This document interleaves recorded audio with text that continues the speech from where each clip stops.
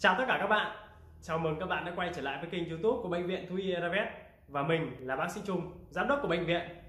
Ở Trong video ngày hôm nay, mình sẽ chia sẻ với các bạn về một căn bệnh có thể coi là bệnh truyền nhiễm nguy hiểm bậc nhất đối với loài chó Với tỷ lệ tử vong lên tới trên 80% ngay cả khi được điều trị. Đó là bệnh Carey hay còn được gọi với cái tên bệnh xài sốt ở chó. Và ở trong video này thì mình cũng sẽ chia sẻ với các bạn để các bạn có thể hiểu mức độ nguy hiểm của bệnh cách thức mà bệnh lây lan các triệu chứng của thú cưng khi bị mắc bệnh care và cũng như là cách tốt nhất để phòng và điều trị căn bệnh này. Và bây giờ thì mình vào nội dung của video nhé.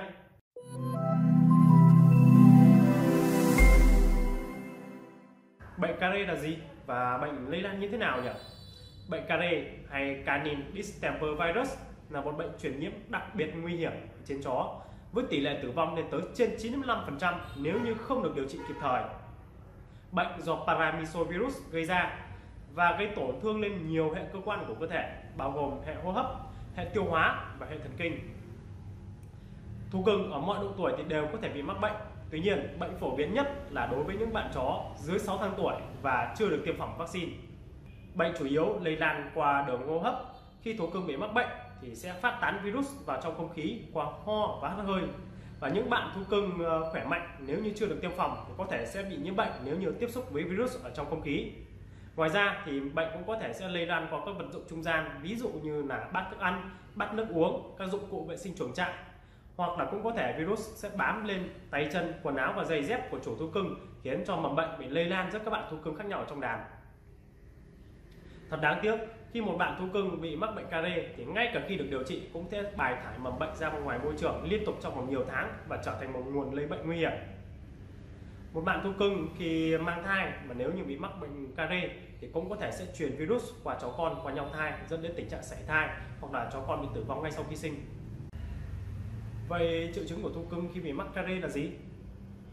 Khi thú cưng bị nhiễm virus từ 3 đến 7 ngày thì sẽ phát triển một đợt sốt đầu tiên và lúc này thì thú cưng có, sẽ có biểu hiện như là mệt mỏi này, chán ăn thở ơ và ngủ nhiều. Và cơn sốt này thì sẽ suy giảm sau khoảng tầm 1 đến vài ngày và bắt đầu phát triển thêm cái đợt sốt thứ hai. Và lúc này đây thì thú cưng cũng sẽ có thêm những cái triệu chứng ở trên hệ hô hấp, hệ thần kinh ờ, hệ tiêu hóa và trên da nữa. Với những bạn thú cưng mà bị tổn thương ở hệ hô hấp thì có thể sẽ có những cái triệu chứng mà kể đến như là ho, hắt hơi, sổ mũi đặc xanh viêm kết mạc mắt khiến mắt bị sưng lên và chảy nhiều ghèn xuống mắt. Với thú cưng có tổn thương ở trên hệ tiêu hóa thì thú cưng sẽ bị nôn từ 2 đến 3 lần một ngày và tiêu chảy phân lỏng hoặc là phân nhão có màu cà phê và mùi tanh khắm. Ở trên da thú cưng thì nó cũng có thể có sẽ có những cái nốt sần màu đỏ hoặc là những cái mụn mủ nước có màu xanh. Và với những bạn thú cưng mà sống sót được qua cái đợt cấp tính đầu tiên ấy, thì sẽ phát triển thêm cái dấu hiệu là bị chai sần ở gan bàn chân và tăng sinh biểu mô ở vương mũi.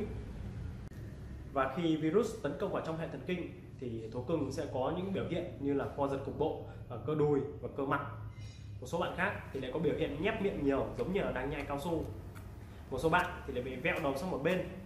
Một số bạn khác thì lại bị mất thăng bằng, khiến cho đi lại khó khăn, hoặc là chỉ có thể đi được theo hình vòng tròn do mất kiểm soát phương hướng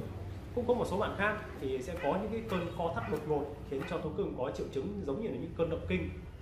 Và thật không may, nếu như thú cưng bị mắc care và phát triển những cái triệu chứng ở trên hệ thần kinh thì tỷ lệ sống sẽ rất là thấp ngay cả khi được điều trị. Và nếu như may mắn được điều trị khỏi bệnh thì cũng sẽ có những cái di chứng về hệ thần kinh từ nặng đến nhẹ trong suốt cả cuộc đời. Thông thường thì bệnh care sẽ tiến triển trong khoảng thời gian từ 7 cho đến ờ, 14 ngày và nếu như không được điều trị sớm, điều trị kịp thời thì tỷ lệ tử vong có thể lên tới 100% nhưng nếu như phát hiện sớm và điều trị tích cực, điều trị đúng hướng, thì tỷ lệ sống cũng có thể sẽ được khoảng tầm 40%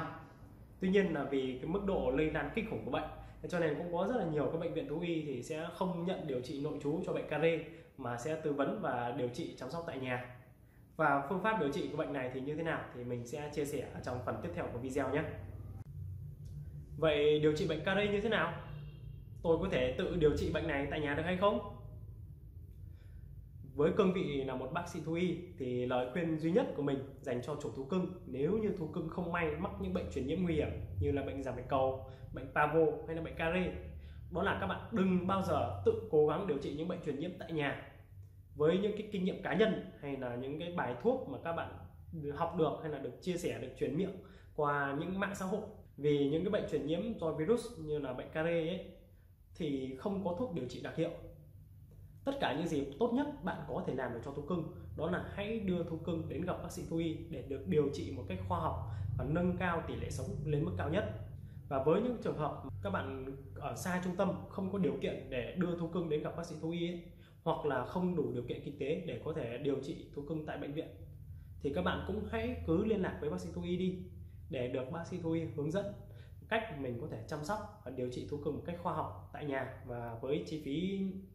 không quá tốn kém. Và để điều trị bệnh carie thì những cái thuốc mà bạn cần phải sử dụng ấy, đó là phải sử dụng đến thuốc kháng sinh để kiểm soát cái sự nhiễm khuẩn của vi khuẩn kế phát ở trên hệ hô hấp và hệ tiêu hóa. Thứ hai là các bạn cần phải sử dụng thuốc hạ sốt trong những trường hợp mà thú cưng phát triển những cái đợt sốt của bệnh. Thứ ba là phải sử dụng thuốc cầm nôn. Trong những trường hợp mà thú cưng bị nôn nói quá nhiều hoặc là bị mất nước do nôn nói trường hợp và cuối cùng đó là phải cần đến những cái thuốc để chống những cái cơn co giật. Nếu như thú cưng bị phát triển những cái triệu chứng về hệ thần kinh ở giai đoạn cuối của bệnh. Và tất nhiên là nếu như mà thú cưng mà các bạn không thể ăn uống được ấy, hoặc là bị mất nước quá nhiều thì cũng phải cần đến sử dụng các loại dịch truyền điện giải và dịch truyền dinh dưỡng để bổ sung lại lượng nước mất của cơ thể và bổ sung những năng lượng thì giúp cho cơ thể có thể vượt qua được bệnh và hình thành được kháng thể. Và nếu như mà cơ thể thú cưng hình thành được kháng thể thì thú cưng sẽ khỏi bệnh và virus sẽ bị loại trừ. Tuy nhiên, nếu như mà sức đề kháng của thú cưng quá yếu và không thể hình thành kháng thể kịp thời thì thú cưng sẽ bị tử vong ở trong những cái giai đoạn nghiêm trọng của bệnh. Và hiện tại thì là không có một phương thuốc nào là duy nhất để điều trị bệnh care hay là không có phương pháp điều trị nào là tốt nhất cho căn bệnh này. Tất cả những cái gì mà bác sĩ thú y làm ấy, đó là phải dựa vào triệu chứng và kinh nghiệm để điều trị bệnh. Cho nên là các bạn không thể tự điều trị tại nhà được mà cần phải có sự giúp đỡ hay là sự tư vấn từ xa các bác sĩ thú y nhé. Và ở hiện tại thì cũng như mình biết ấy, thì cũng có một số phương pháp điều trị care mà được nghiên cứu và phát triển hiện nay. Đó là điều trị bằng các loại thuốc ờ, chống virus và kháng huyết thanh. Tuy nhiên là những cái phương pháp như này thì chưa quá phổ biến ở Việt Nam. Cái thứ hai là hiệu quả thì vẫn còn đang được kiểm nghiệm. Cho nên là mình sẽ không chia sẻ cụ thể trong video lần này. Và mình muốn nhấn mạnh với lại với các bạn thêm một lần nữa, bệnh care là một bệnh truyền nhiễm đặc biệt nguy hiểm với tốc độ lây lan cực kỳ nhanh và tỷ lệ tử vong rất cao.